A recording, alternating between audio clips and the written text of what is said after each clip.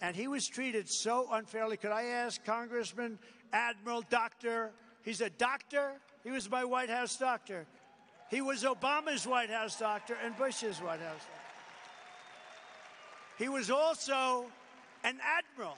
So he was an admiral and a doctor. Then he became the doctor in the White House. And you know when I fell in love with him? They said, Who's the healthiest? He, he took care of Bush, Obama. Did anybody ever hear of Barack Hussein Obama? Yes. Took care of Obama, and he took care of Trump. And they said, Who's the healthiest of those presidents? And he said, Without question, it's Donald J. Trump. And I said, I love this guy. Ronny Jackson. Thank you, Mr. President. Thank you. Howdy, Montana from the great state of Texas. All right. Look, I want to tell you a little bit about this man, Jon Tester. This man who says that he represents Montana in the Senate. This man who tells you that he's up there trying to clean the place up and trying to fix what's broken. This man is a sleazy, disgusting swamp politician. He's a fraud and he's a liar. I was in the Navy for 25 years. For 25 years, I was on active duty serving my country. I was an emergency medicine physician, right? I went to Iraq with the United States Marine Corps to a surgical shock trauma platoon on the battlefield between Fallujah and Ramadi. I spent the last 14 years of my career in the Navy on active duty at the White House, serving three presidential administrations and taking care of three presidents, including the best president this country's ever had, Donald J. Trump.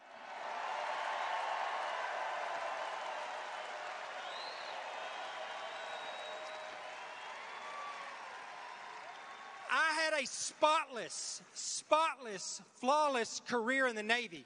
I had never had a single complaint about anything. I was a Navy Rear Admiral.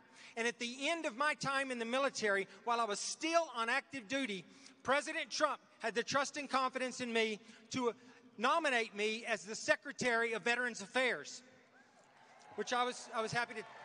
However, let me tell you, Jon Tester, at that time, was the ranking member on the Senate Veterans Affairs Committee. He was going to oversee that process. He was also up for reelection. It was 2018.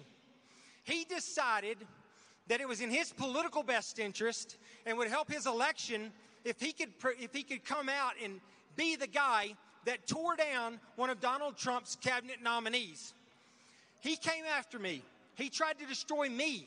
He tried to destroy my family. He got together with some disgruntled employees that worked for me at the White House who were upset because they didn't get promoted or get something they wanted during their time at the White House. One of them, in fact, is currently Joe Biden's doctor.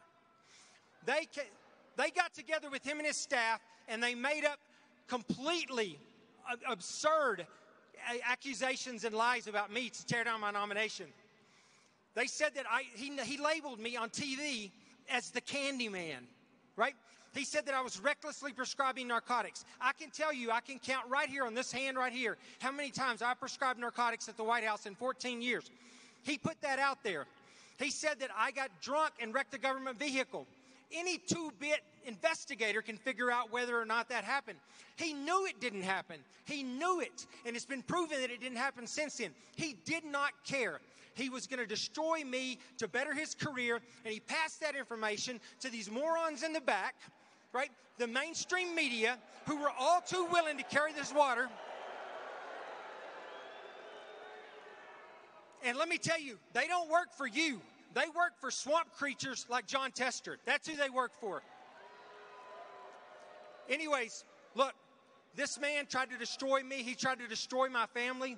I've been waiting for six years to get back here for this night, to be with this man right here, to come after him.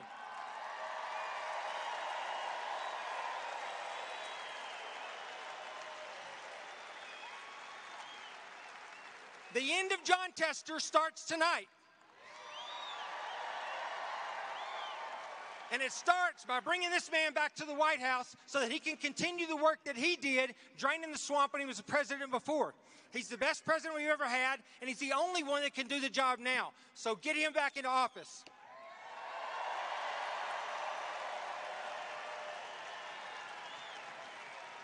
The next thing we're going to do, the next thing we're going to do is we're going to bring Tim Sheehy to the Senate to replace this swamp hippopotamus, Jon Tester.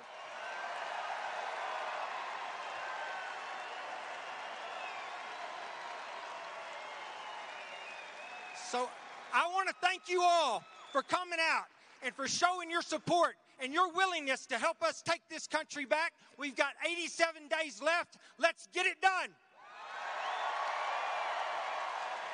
Great job. Great job. Other than that, he likes him very much. But I was a part. Uh, look, I was. I maybe blame myself. I said to her, he was a great admiral, highly respected in the Navy. He was a great White House doctor. So you have two, you have leadership and you have the doctor. So I figured, what's better for the VA? So I went to Ronny and I said, Ronny, what do you think of the possibility of you running the VA? You're a great leader, you're a great admiral, highly respected in the Navy, a war veteran, everything. He had everything you could have. And on top of that, he's a great doctor, a great man, a great personality. Everyone loves him. And, you know, I went to him, I said, What do you think? And he didn't want it. He said, Sir, I'd rather not, but he's an incredible patriot. He said, But if you want me to do it, because he was ready to retire and go on to move to Texas and do whatever he was going to do. He said, If you want me to do it, sir, I'll do it. He didn't want to do it. Everybody else would want it, but he really would have preferred not. I said, Ronny, you know, I did him such a great favor. Ronny, you'll be great. So I let it out that I'd like to put Ron. I didn't even put it out officially. I let it out to the fake news. I said I'd like to put Ronny in as the head of the Veterans Administration. And that's when Tester hit. And it was vicious. It was vicious. It was really. And I didn't even say it. You know, I mean, I, after it happened, I said, Ronny, it's really unfair. And, you know, they sent out people, and we did too, to investigate every charge this slob made and every charge was totally false.